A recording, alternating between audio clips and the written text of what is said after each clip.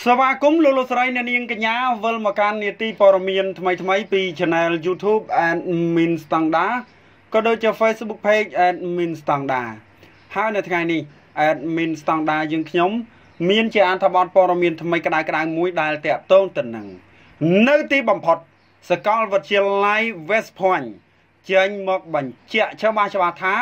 គ្មានការចេញសញ្ញាបត្រពីរខុសគ្នានោះទេ សម្រាប់និស្សិតអន្តរជាតិ រាជធានីភ្នំពេញនៅទីបំផុតច្បាស់ហើយ ទីបំផុតសកលវិទ្យាល័យ West Point ចេញមកបញ្ជាក់ច្បាស់ច្បាស់ថាគ្មានការចេញសញ្ញាបត្រពីរខុសគ្នាទេសម្រាប់សិស្សនិស្សិតអន្តរជាតិពលគឺការចោទប្រកាន់របស់អតីតមេដឹកនាំនៃគណៈបកប្រឆាំងលោកសំរងស៊ីដែលបានចោទប្រកាន់ម្ដងជាពីរដងថាសញ្ញាបត្ររបស់លោកហ៊ុនម៉ាណែតកូនប្រុសច្បងរបស់សម្ដេចតេជោហ៊ុនសែន ចេញពីសាលាយោធាអាមេរិក West Point ជាសញ្ញាបត្រកម្រិត2ឬសញ្ញាបត្រយោគយល់គ្នាតែប៉ុណ្ណោះយោងតាមការចេញផ្សាយរបស់ទូរទស្សន៍ជាតិកម្ពុជាតតកបានស្រង់សម្ដីមន្ត្រីជំនាញផ្នែកកិច្ចការសាធារណៈផ្នែកតំណាក់តំណងប្រព័ន្ធផ្សព្វផ្សាយនៃបណ្ឌិតសភាយោធា West Point គឺលោក Francis J. De បាទ Maron Junior បានបញ្ជាក់ថា តម្លៃសញ្ញាបត្រនៅបណ្ឌិតសភាយោធាអាមេរិក West Point គ្មានការបែងចែកឬភាពខុសគ្នារវាងសិស្សក្នុងស្រុក និងសិស្សមកពីបរទេសនោះទេ ហើយលោកសង្ឃឹមថាការបញ្ជាក់ទាំងនេះនឹងបញ្ចប់ភាពចម្រូងចម្រាសនៃតម្លៃសញ្ញាបត្រសាលារបស់លោកផងដែរជាមួយគ្នានោះផងដែរឆ្លើយតបនឹងសំណួររបស់បាទ EAZ បាទញូលោក Francis បាទ J de Maron Junior បានបញ្ជាក់ថា អ្នកគ្រប់គ្នាដែលបាន បញ្ចប់ការសិក្សាពីបណ្ឌិតសភាយោធាសហរដ្ឋអាមេរិកនឹងទទួលបានសញ្ញាបត្រផ្នែកវិទ្យាសាស្ត្រគឺគ្មាន បាទភាពខុសគ្នាឬការតម្រូវ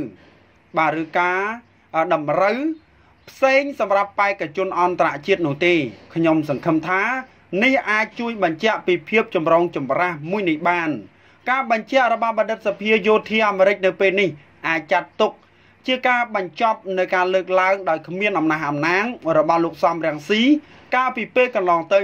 ដែលបានធ្វើការវាយប្រហារមកលើតម្លៃសញ្ញាបត្ររបស់លោកហ៊ុនម៉ាណែតថាជាសញ្ញាបត្រកម្រិត2ឬសញ្ញាបត្រយោគយល់គ្នាតែប៉ុណ្ណោះកាលពីថ្ងៃទី6ខែមករាឆ្នាំ2022ម្សិលមិញអ្នកនាំពាក្យស្ថានទូតរបស់សហរដ្ឋអាមេរិក នៅកម្ពុជាលោកបាទ Cherrod Demir ក៏បានឆ្លើយតបដែរថាបញ្ហាសញ្ញាបត្រឯកឧត្តមហ៊ុនម៉ាណែតត្រូវបានសាលានាយទាហានអាមេរិក West Point ធ្វើការបកស្រាយរួចហើយកាលពីឆ្នាំ2019ដែលមានន័យថាស្តង់ដារសញ្ញាបត្ររបស់សាលាអាមេរិកមិនមានការបែងចែកស្តង់ដារកម្រិត2ឬសញ្ញាបត្រយោគយល់គ្នាដោយដែលលោកសំរងស៊ីធ្វើការលើកឡើងនោះទេសូមជម្រាបជូនថា